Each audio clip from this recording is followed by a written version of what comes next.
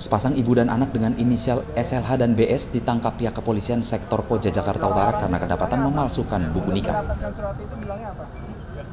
Kapolsek Koja Kompol Budi Cahyono dengan didampingi oleh Kanit Reskrim Polsek Koja AKP Andri Soeharto memberikan keterangan di hadapan awak media terkait dengan kasus tersebut.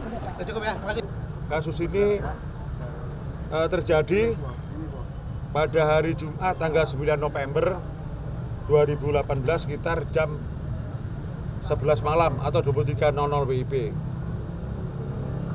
E, tempat, gaji, tempat kejadian kita ketahui ada peristiwa tidak pidana pemalsuan surat e, setelah kita lakukan cek buku nikah di Polsek Koja Jalan Bayangkara, Jakarta Utara.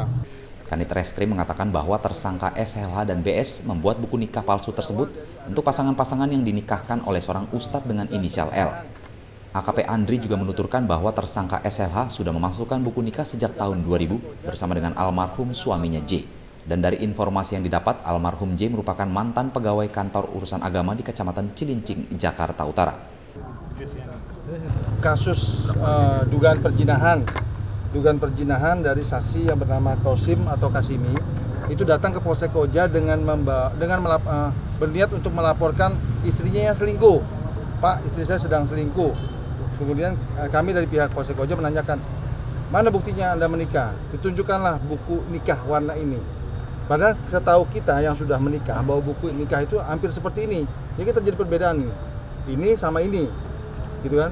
Karena yang biasanya yang hampir dikeluarkan oleh Polsek apa oleh KUA adalah buku coklat tapi warnanya ini hampir seperti ini. Bukan ini. Setelah itu kita lihat dan kita eh, kita perhatikan terjadi apa e, kayak seperti ini bodong nih e, palsu.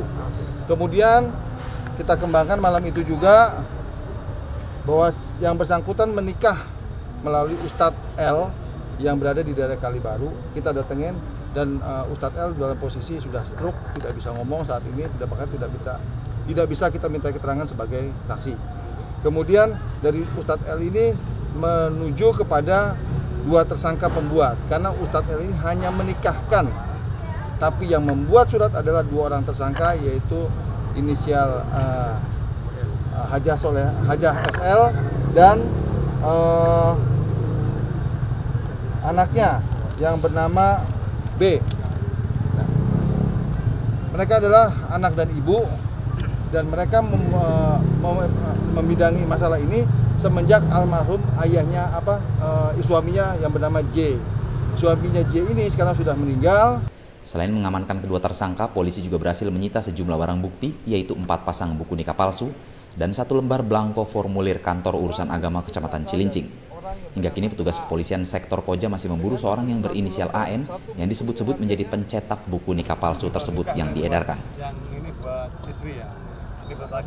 Dan akibat perbuatannya, SLH dan BS dijerat dengan pasal 263 KUHP dengan ancaman hukuman 6 tahun kurungan penjara. Dari Jakarta, Tim Liputan Tribrata TV, salam Tribrata.